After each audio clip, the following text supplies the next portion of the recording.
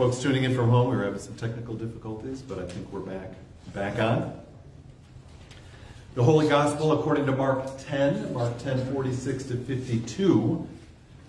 They came to Jericho as Jesus and his disciples and a large crowd were leaving Jericho. Bartimaeus, son of Timaeus, a blind beggar, was sitting by the roadside.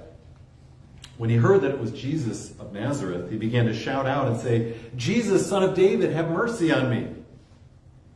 Many sternly ordered him to be quiet. But he cried out even more loudly, Son of David, have mercy on me. Jesus stood still and said, Call him here.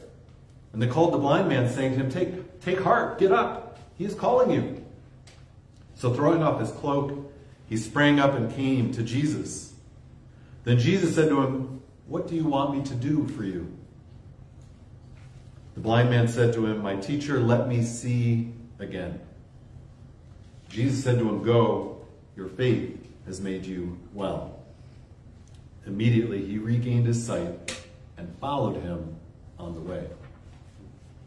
For the word of God in Scripture, for the word of God among us, for the word of God within us. Thanks be to God. If you're considering a trip or traveling somewhere, it's pretty normal to plan it all out. The itinerary, the lodging, the train or airfare, having it all in hand. We like to know our way. Doesn't hurt to have a map or a plan. And often we like to know the whole, how the whole trip will play out before we even begin the journey. I've tried it the other way, and I don't know that it's recommended you have four kids and you're like, is there somewhere we're going to sleep tonight? But that can often be said of our lives in general as well. We want to know where we're going. We want to know how we're going to pay for something, or where we're going to work, or who we're going to enter into a relationship with, or where we're going to live, or how we're going to retire. And I guess we might as well script the funeral while we're at it. It's tempting to know it all ahead of time to not take a step until we know how it's going to turn out. But what would it be like, I wonder, to step into the unknown, into the darkness, into a place that is not on the map? In our text today, we hear the story of a blind man, someone who literally could not see and yet takes a step forward anyway. Our story picks up with Jesus and the disciples themselves on a journey. They're en route to Jerusalem on the pilgrimage way, heading to the holy city of the holy city of Jerusalem for Passover. And Jericho is the last major stop on the pilgrimage route. This meant the number of pilgrims would be expanding. The path would be full of folks walking step after step. They didn't need a map, just follow the crowd. And my own experience in walking uh, pilgrimage on the Camino this past summer confirms this experience. The closer you get to your destination, the more people are along the way with you. More folks taking one step at a time, more folks wondering, are we there yet? And sensing, yeah, we're almost there. And the text confirms this setting. It says they came to Jericho, and then, as Jesus and his disciples and a large crowd were leaving Jericho. So quick stop, because they have somewhere to go. About to hit the final leg of their pilgrimage. Next stop, Jerusalem. They can already anticipate resting their feet, celebrating the festival, and no doubt finding some good food. And then it says, as they were leaving Jericho, a blind beggar was sitting by the roadside. Probably not unusual not an unusual spot, that is. No doubt there were a number of such folks, knowing that pilgrims might well be in the mood to offer a few coins. But this beggar wasn't content with just a few coins. He'd heard that it was Jesus of Nazareth passing through, and so he starts to shout.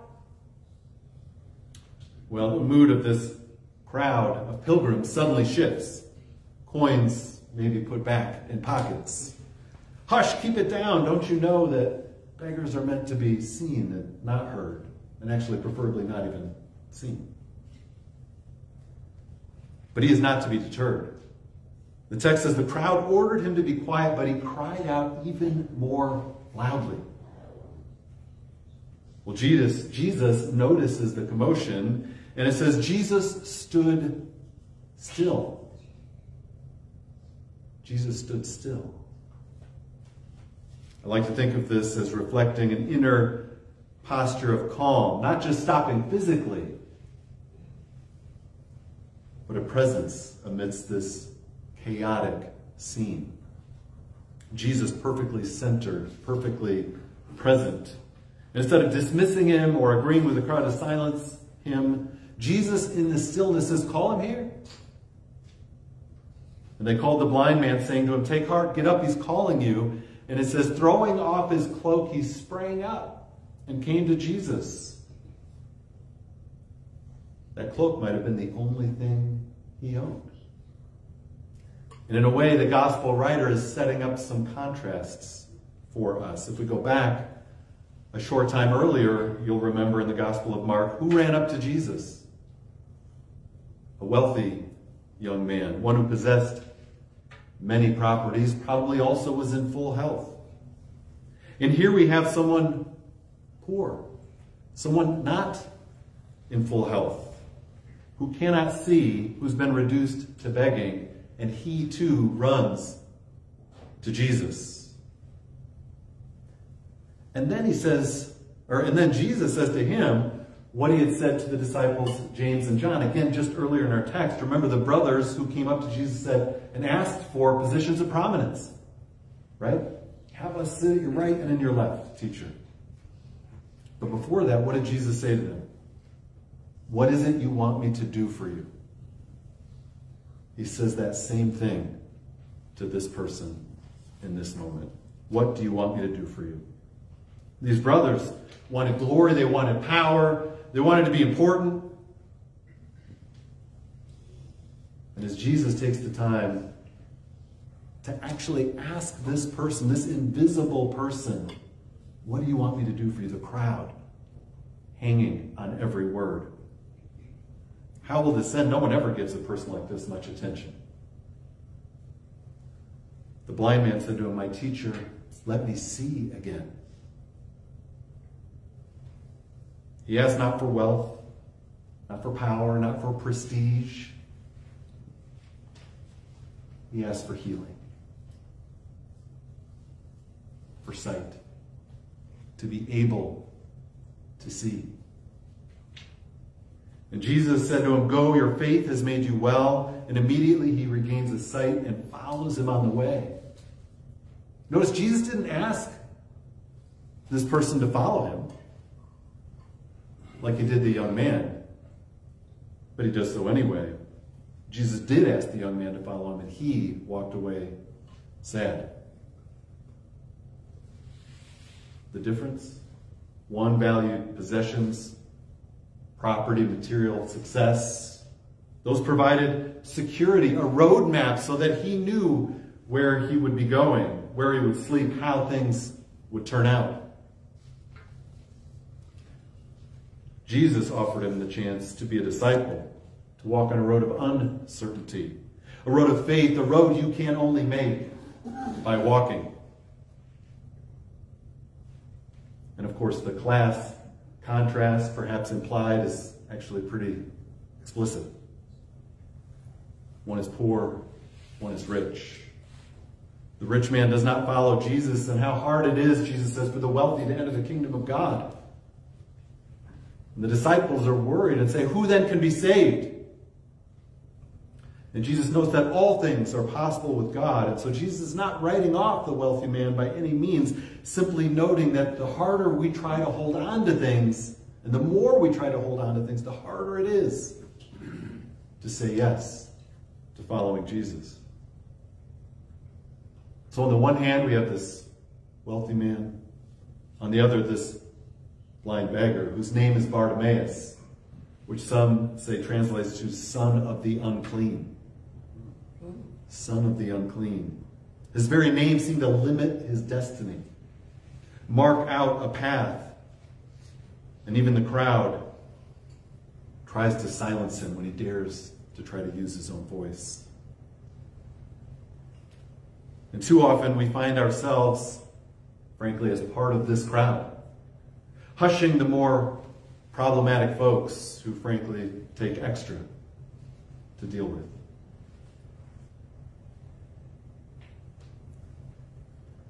Marlon Viss shared a story from a recent uh, Wednesday night at Refresh.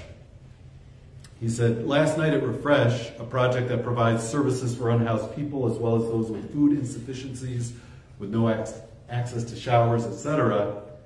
He said, Last night, one of our guests slash friends had a meltdown. There was a lot of yelling, swearing, and it was unsettling for the entire room. The person was asked to leave and did. Marlon says, I moved over to the dishwashing center and said to the volunteer, that person is their own worst enemy. And he says, standing next to me, unnoticed by me, was another of our guests slash friends.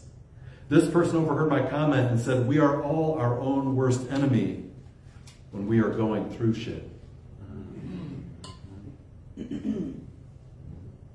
he says, once again, I was humbled and then reminded about how much we have to learn from those living on the margins.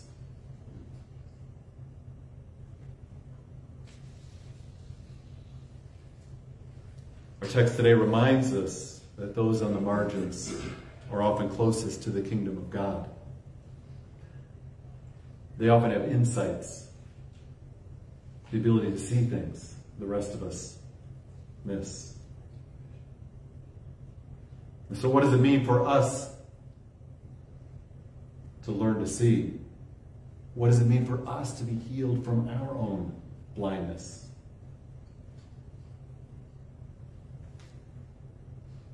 The current social and political climate, you might say, is steeped in darkness. Scapegoating those already marginalized is baptized as a winning strategy.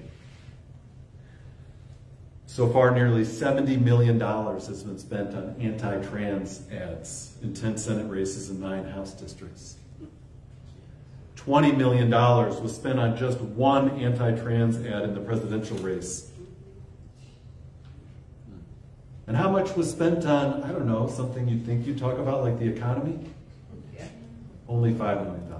I say only, but comparatively. And $243.6 million was spent in just the third quarter, meaning in a three-month stretch, to fund anti-immigrant television ads in battleground states, including ours. These ads meant to vilify and demonize folks who are simply trying to find a better life for their family, folks our economy depends on, folks created in the image of God. These ads were viewed over 6.5 billion times. What does that repeated belittling do to our national psyche? What long-term harm is happening to our collective national soul? Let alone literal harm to these people. At a rally just a few days ago, a presidential nominee compared immigrants to trash, saying that the United States has become a garbage can for the world because of quote unquote illegal border crossings. Millions of Christians see those ads and hear this rhetoric telling lies about our immigrant neighbors and don't bat an eye. Often they nod their heads and cheer. Millions of Christians will vote for candidates who paid for and endorsed these ads and who use such rhetoric. When a candidate for president of the United States can stand up and call immigrants vermin who are poisoning the blood of our country and not be asked to step down or suspend their campaign and in fact sees a, bump in the polling because of it, then we have truly lost our way. You wonder if this story would hit home if Bartimaeus was an unhoused, undocumented, transgender Samaritan beggar who is healed by Jesus and becomes a model for what it means to be a disciple. But I kind of doubt it. Probably the crowds would still shout him down and silence his voice.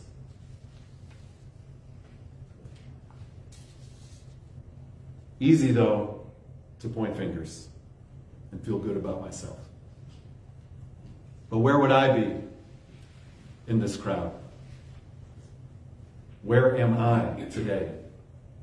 Who are the marginalized in our community that I too frequently pass by or don't even see?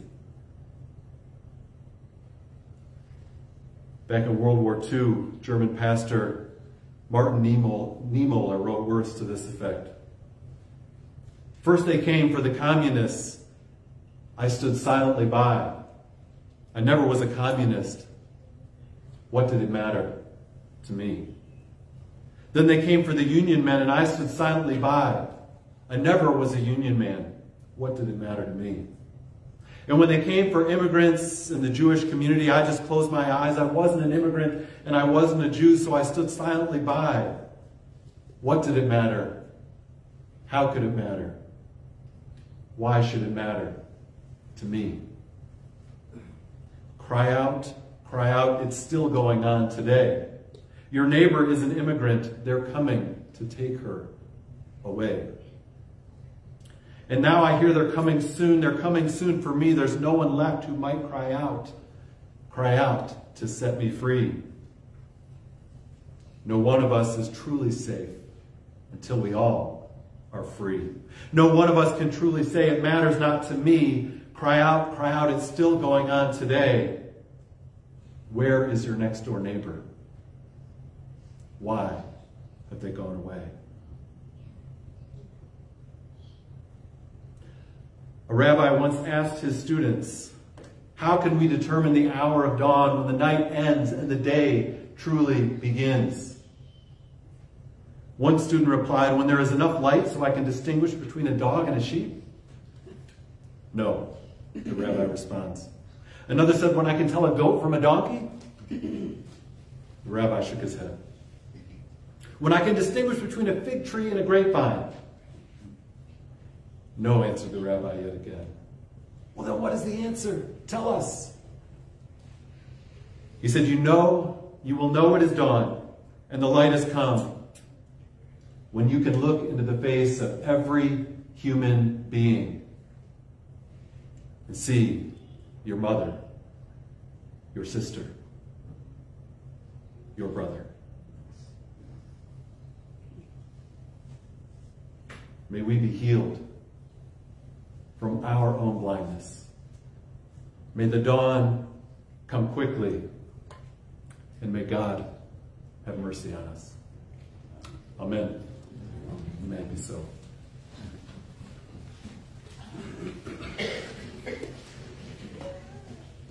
I want you to rise in body or in spirit for our song of response, We Shall Overcome.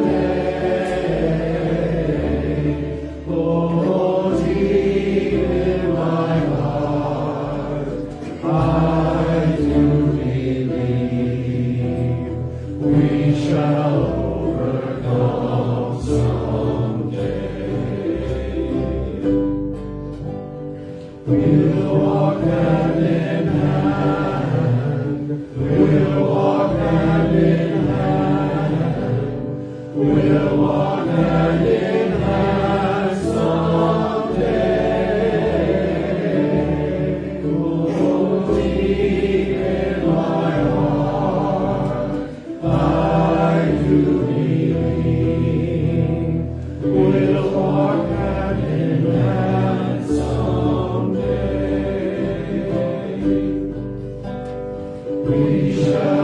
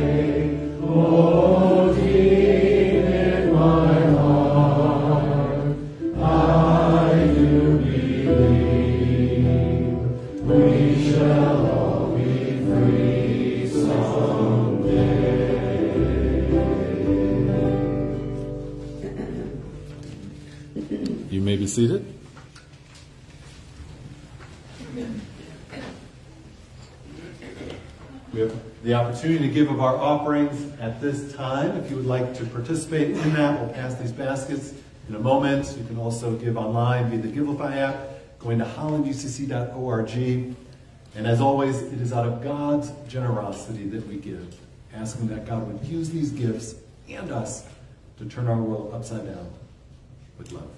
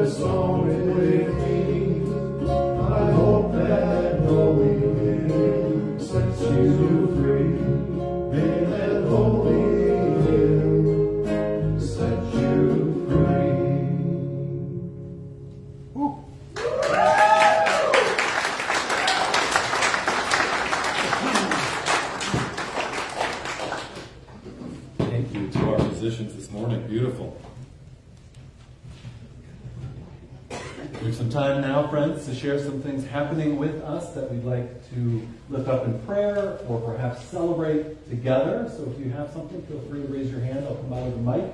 And friends tuning in from home, feel free to post in the comments, and we'll do our best to share that as well. I'm very grateful that I have a birthday on Halloween and I'm going to make it into 86.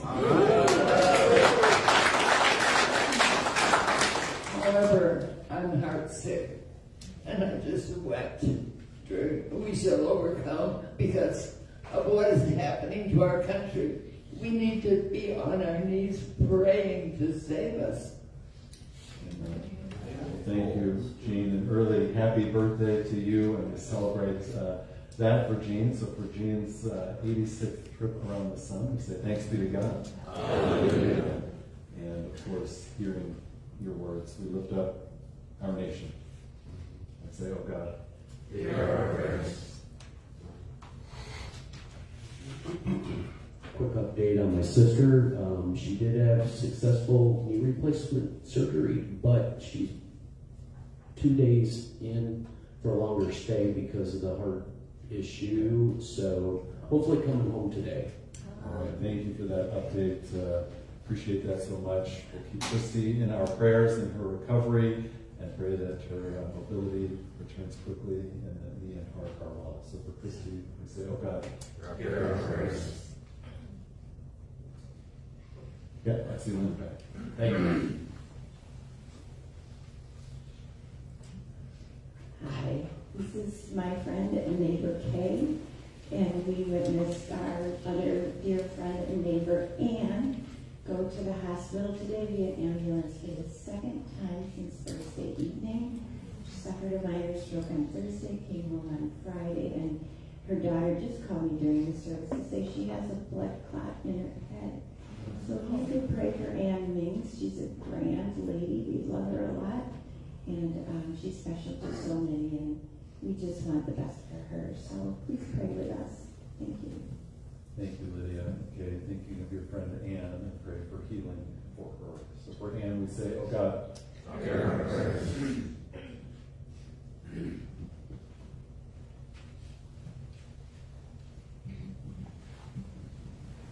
I got uh, good news and bad news. So uh, last weekend, I um, ran my first marathon. I'm very happy about because like a couple months ago, I had COVID and pneumonia, so I wasn't sure if I was gonna be able to run, but I ended up doing it and completed it, so I'm very happy about that. Um, and then my other news, uh, yesterday was my grandmother's funeral service. Uh, she was 94. Um, she's a Polish immigrant who um, was basically forced out of Poland due to World War II and eventually made her way to America and lived the American dream. So I'm very sad to lose her, but um, she's a great example of um, an immigrant coming here, and um, she taught me so much, and especially now with the political environment, she, um, I hope that she helps me bring the strength to kind of get through this. So, Thank you, Joe. A great reminder that those of us who are not immigrants ourselves often don't have to look that far back in our own families, uh, right, to see the immigrant story. So thank you for sharing that. Thinking of your family in this time of loss. So thinking of Joe and family as they said farewell to their grandmother. Lift them up to God. Say, oh God. Hear our prayers. And for running your first marathon, we celebrate that and say thanks be to God. Hallelujah.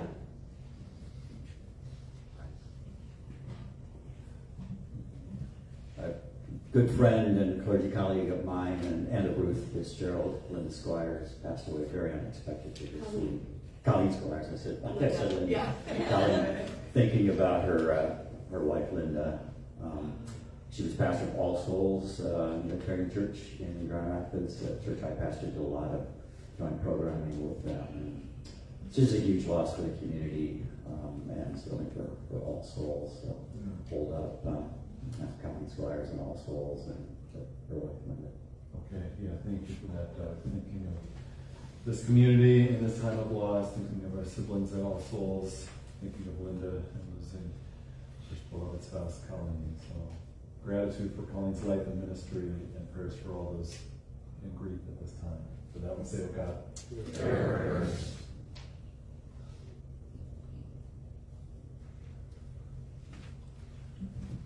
let's call this a hallelujah. Our, our son, um, getting on to be about 40, um, uh, served four years in the Marine Corps in the early 2000s. And um, I mean, I can't describe to you how intensive um, that kid um, time in the Marine Corps was. But um, anyway, he has a familial heart issue passed on by Jude's mom's family and Jeff's dad's family down. It's um, uh, my You were quick to not take credit for that. yeah, and probably exacerbated by really um, over the top conditions as a young man. But he had a defibrillator put in this this week, and that should allow him, even though he's a young man, that should allow him to more fully um, move around and be active and the like. So, um, uh, thanks for a successful procedure for Benjamin. Absolutely, thank you for that update, Greg. Gratitude to hear that that went well for Benjamin. We'll pray that this will provide him the full health, heart health uh, going forward. So for that we celebrate. Say thanks be to God. Other things going on that we can hold space for.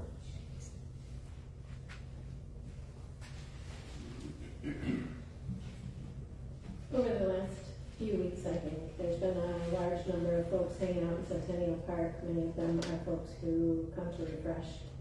So two parts of this, uh, I guess two parts to mention. One is hard to imagine what it would be like each day trying to figure out where you're gonna spend the day, particularly as the weather is turns. Um, and secondly, I guess following today's sermon, may all who encounter those folks who are hanging out in large numbers in Centennial Park, may everyone who encounters them see them as their siblings. Yeah.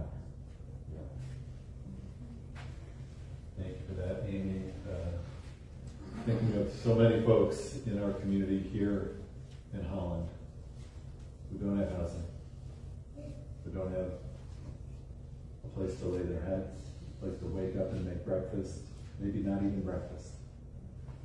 Holding space for them, gratitude for many who seek to come alongside, but may more of us come alongside to bless these folks and to look at the systems and the gaps that allows for us to live this way together. So for those folks, we say, oh God,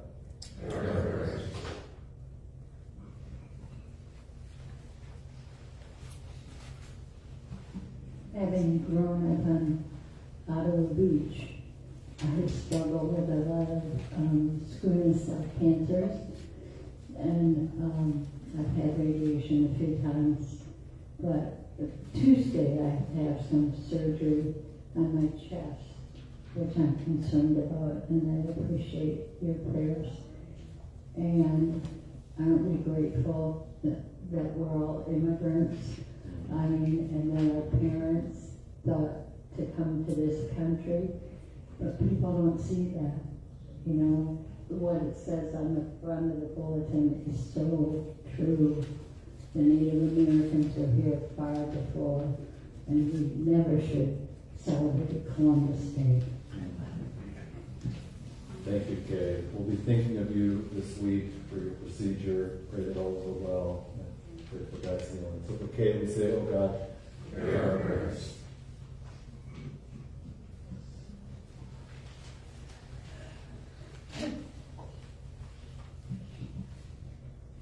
I get the privilege of sharing that Kim Gunn's daughter Sarah had her baby boy.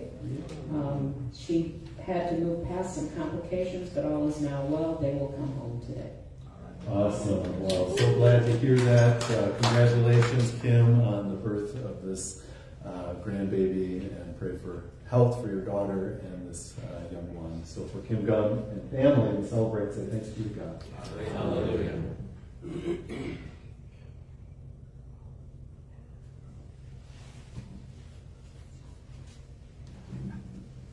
Um, my mother-in-law passed away last weekend.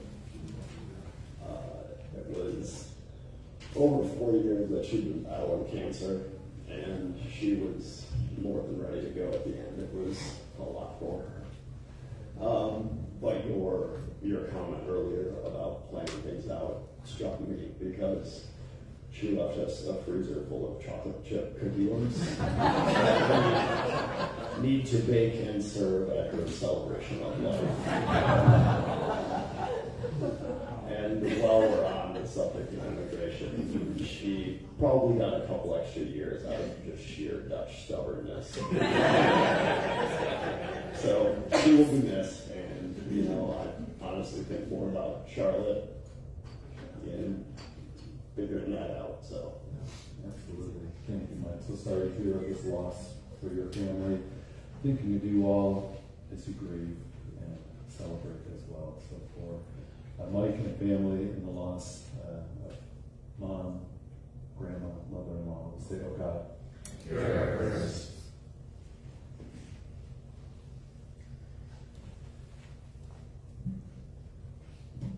Ties a few things that people have already mentioned together, but uh, appraise is my daughter adopted a dog this week, but it came from, she's in North Carolina, and the dog's a rescue from western North Carolina and the floods that hit there. And then this week, um, I've had the opportunity to canvass areas of Holland uh, for Kamala Harris. And I ran into somebody who was sure that that storm was geoengineered. And uh, we had a long conversation, which I don't think I made any progress in. But the disinformation that's out there uh, is is terrible and hard to overcome, and we can have more truth be spoken. And thanks for speaking truth today.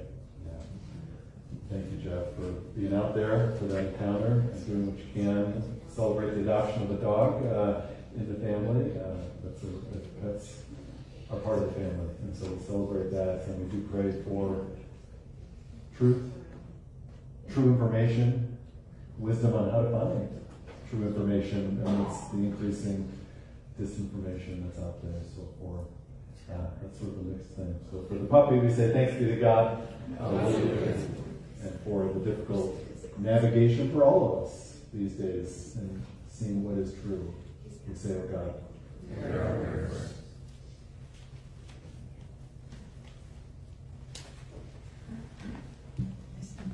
Um, our son-in-law, Owen, is, um, in North Carolina. He's Red Cross, uh, professional, and he's in charge of a lot of the stuff that's happening right now in North Carolina. And we pray for him. Um, and also, sorry, it's been months since I had it. Thank you all your prayers for me. Um, I suffered, um, breast cancer last year in July. I went through pretty much the whole year, thanking God for His grace to me. Um, this July, I suffered um, brain tumor, and um, next week I'll be going in for radiation for the remaining part of the brain tumor. So I really appreciate your prayers. Um, all of you are so wonderful, and um, and I have experienced great support from all of our friends. Um, many of the dinners that we've had have been celebrations uh, of our time together with all of you, and we so appreciate that. We love you all. Wow, we love you, Ruth, and we'll be thinking of you for the radiation treatment upcoming and know you've walked such a great journey already. Pray that uh, you'll feel God's peace and healing in the days ahead. And think of your son-in-law Owen as well. Give gratitude for the work he is doing. So for Ruth, for Owen, we say, oh God, Hear our prayers.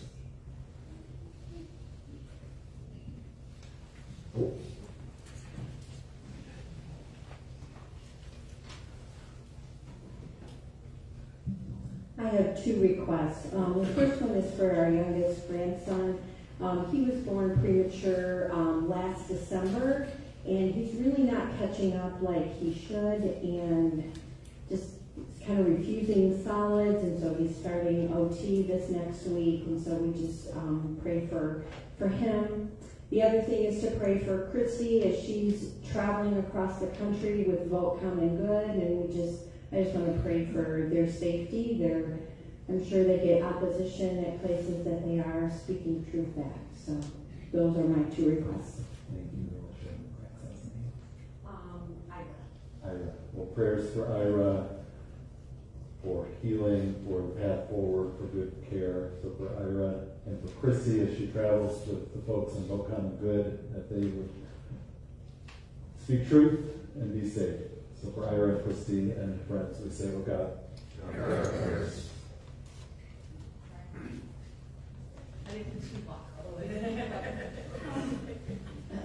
Um, surgery on Tuesday, um, probably won't be here for a couple weeks healing, but, um, I do want to second that everybody here is just wonderful.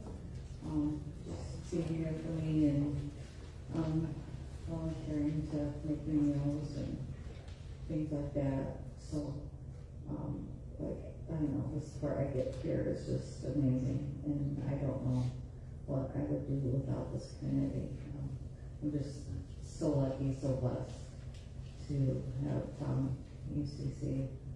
Just, yeah, it's amazing. So, um, a hallelujah for finding UCC and just prayers for um, a healthy recovery. Absolutely. We'll be thinking of you this week. Sherry, prayers for the procedure, for healing for you. And yes, we celebrate uh, being able to be together during these difficult times. So for Sherry, we say, oh God, our prayers. And for the gift of community in these difficult times, we say, thanks be to God. All right, friends, I'm going to cut it there, even though there may be more. There may be more, but people do have plans and the rest of the day, so I don't mean to cut anyone off. And I know there is more happening in our lives and in our world, and so for whatever else you may be holding on to, I invite you to lift that up now to God in the silence.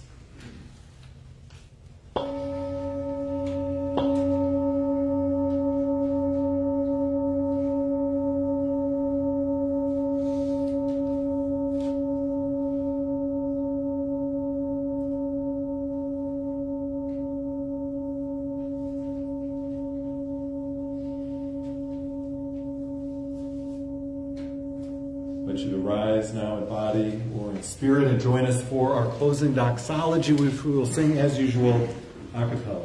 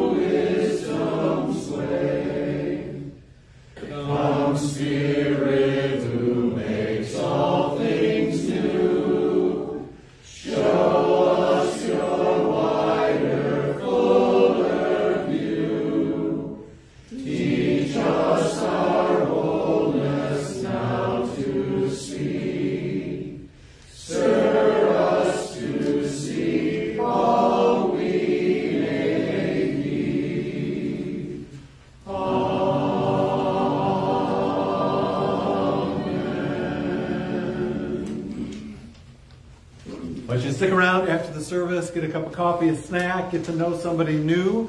A few things happening are on the back of your bulletin. A reminder that following worship, uh, a little bit after, we'll have book study and potluck on Refugee of Faith.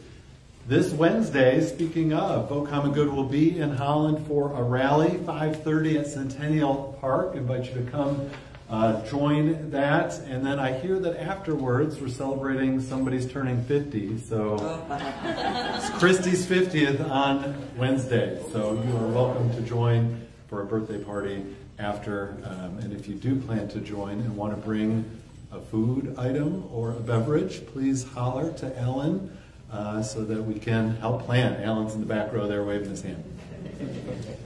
And thank you to Alan and Amy for hosting that. Uh, Thursday coffee, 9 o'clock, Holland Hospital Cafeteria. Friday meditation, 8 o'clock right here. Uh, next Sunday is our annual congregational meeting following worship. We would really encourage you uh, to join us for that. Uh, we are going to have a presentation on a new space opportunity that we are considering and are asking you to consider and vote on. And so it's helpful to have your voice there. We're going to look at the budget proposed for 2025 and vote and approve that, as well as new leadership team members, etc. There will be pizza, and uh, we'll have you home before whatever kickoff or care you are concerned about. But we would love for you to stay and join us. That's next Sunday following worship. It'll also be our eighth anniversary, wow. which is pretty cool. Where does the time go? Um, the Wednesday following the election, we are opening space right here for folks to process what happened, what is happening. We may not know what has happened fully, but we just want to give folks a place to be together. So, no agenda, just uh, show up uh, with open hearts. And if you want to bring something to drink or snack on, feel free to do that. That's 7 o'clock here at the Momentum Center. Any other announcements for the good of the whole I see in the back? I'm coordinating meals for Sherry, so if anyone is willing to do a meal, please come see me and I'll give you the details. Wonderful. Anybody else? Yes. At the risk of being political in a church, for myself, The Democrats right now are doing the get out the vote canvasing um plea. So if we can connect with the Democrats sign up for a whole bunch of slots to go around, mostly to other to registered Democrats or uh, or people who lean to um, get out vote. That's me speaking. That's not Brian. Thank you, Sherry. If you want to get involved with Get Out the Vote, there are ways to do that. So you could talk to Sherry, you could ask a friend, and there are ample opportunities to be involved in this critical time. Yes, Jean. Uh, because I was distraught with tears, I forgot to say thank you to Christy and to Alicia for a fantastic women's retreat. Yes, I heard it was wonderful. Absolutely. And thank you for hosting, Jean. Well, friends, you can always go online to hollanducc.org or follow us on social media for the latest happening with us. And now, as you go forth, may you go with eyes open to see the sacred in each moment, each place, and each person. And may the peace of Christ be with you today and always. Amen. Amen. Go in peace.